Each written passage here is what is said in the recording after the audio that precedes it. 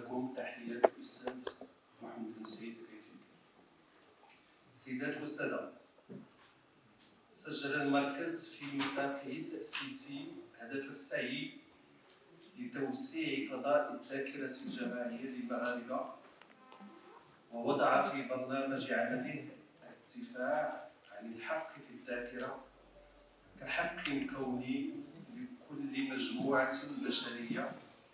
ولكل حساسية مجتمعية.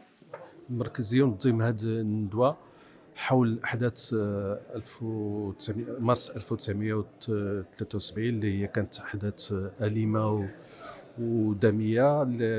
الغاية الأساسية هي أنه اللي داخلة في المهام ديال المركز اللي حفظ الذاكرة الجماعية وما نجعلوش هذه الذاكرة ذاكرة محتكرة وذاكرة أحادية. لازم نفتحوا المجال في الذاكرة الجماعية لجميع الأحداث اللي يعرفها المغرب آه، في من الاستقلال لهنا والمركز يعمل كثير على هذا على هذا في هذا الباب في هذا المجال.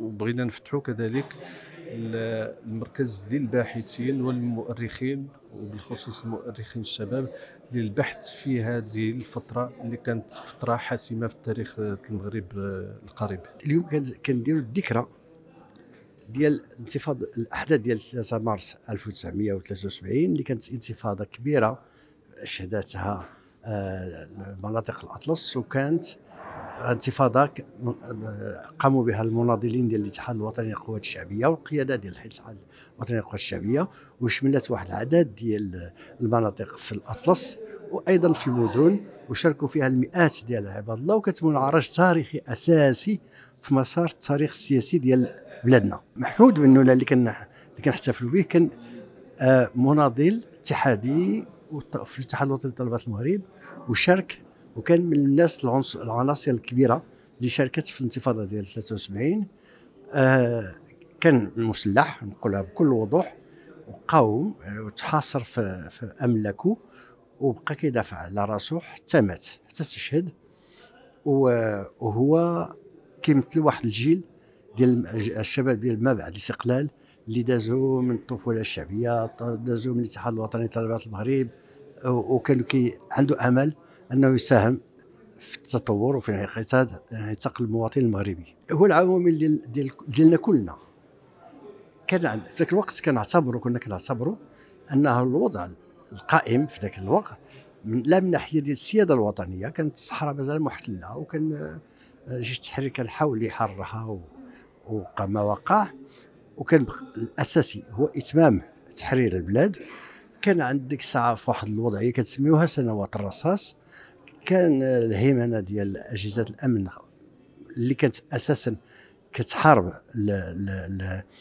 القوى السياسية خصوصا من بعد فشل واحد العدد الناس داروا ثقة كبيرة في الانتخابات والانتخابات كانت كتزور وكانت وما كتكونش ما تعطيش التعبير على على رأي المواطنين.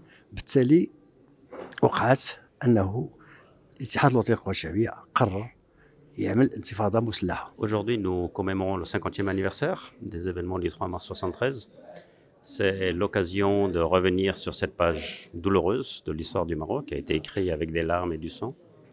Euh, mais c'est aussi l'occasion de se rappeler que l'histoire peut apporter une contribution positive à notre avenir, à notre futur, pour autant qu'elle ne soit pas amputée de sa mémoire. Mon sentiment est celui que le temps passe et qu'il faut absolument restituer la mémoire et les faits tels qu'ils se sont déroulés, qu'il faut absolument restituer le droit et la dignité de celles et ceux qui ont souffert pendant cette euh, page douloureuse de l'histoire du Maroc, et aussi restituer les sépultures de celles et ceux qui restent encore aujourd'hui non identifiés. Il faut replacer les choses dans leur contexte.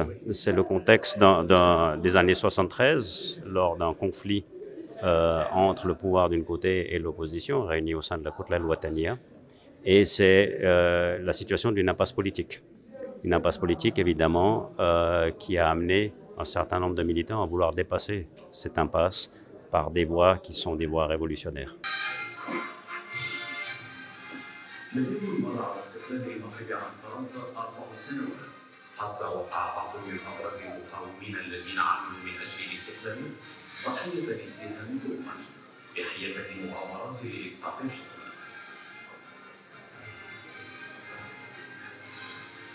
بن عيلة واحد من هؤلاء بن عيلة من الرعيل الأول لجيش التحرير ومن قيادات المقاومة المسلحة ضد المستعمر الفرنسي لكن فرحته الغامرة في الاستقلال لم تكن